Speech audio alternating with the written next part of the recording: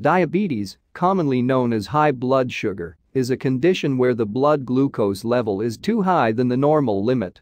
As we all know, glucose is the major substrate used for energy production in cells in order to maintain their normal function. Human pancreas secretes a specific hormone called insulin, which makes the uptake of glucose by the cells easy. So in diabetes, what happens is that due to a defect in the secretion of insulin, or a defect in the cellular response to insulin, glucose cannot enter the cells as usual. So as a result, glucose builds up in blood, leading to high blood glucose levels, or hyperglycemia.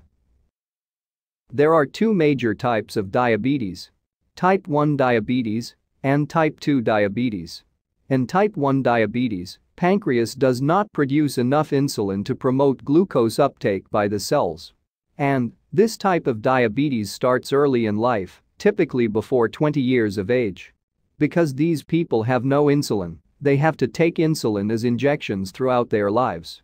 In type 2 diabetes, the pancreas secretes enough insulin, but the cells do not respond to it well. This is known as the insulin resistance. This type of diabetes usually appears in middle ages and initially treated with insulin sensitizing drugs such as metformin to reduce blood glucose levels. However, with time, pancreas secretes less amounts of insulin in these people too. So, later they have to take insulin as injections just like type 1 patients. Some classic symptoms of diabetes include the following. Polyuria, or increased urinary frequency, because now the blood glucose levels are high and they should be excreted quickly from the body. Polydipsia, or increased thirst, to compensate for the loss of water due to increased urination. Polyphagia, or increased hunger, because now glucose cannot enter the cells and the body thinks that the person should eat more to get more glucose. Weight loss, as a result of the glucose waste. Tiredness, due to the reduced energy production of the cells as a consequence of impaired glucose uptake. Other symptoms of diabetes include blurred vision and poor wound healing.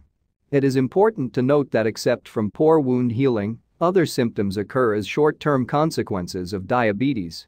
In addition to these symptoms, chronic diabetes will have additional complications as well. Moreover, symptoms of type 1 diabetes usually appear quickly, and symptoms of type 2 diabetes appear more slowly and sometimes may progress to long-term complications unnoticed. So, it is extremely important to have routine blood glucose checkups and other appropriate tests, as indicated by a professional.